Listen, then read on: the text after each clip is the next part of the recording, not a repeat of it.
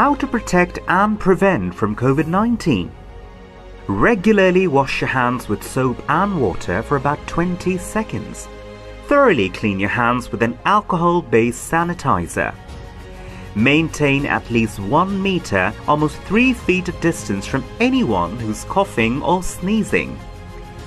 Avoid touching your eyes, nose, and mouth. Covering your mouth and nose with your bent elbow or a tissue when you cough or sneeze. Then dispose of the used tissue immediately. Stay home if you feel unwell. If you have a fever, cough, and difficulty breathing, seek medical attention and call in advance. Follow the directions of your local health authority. Precaution, not panic.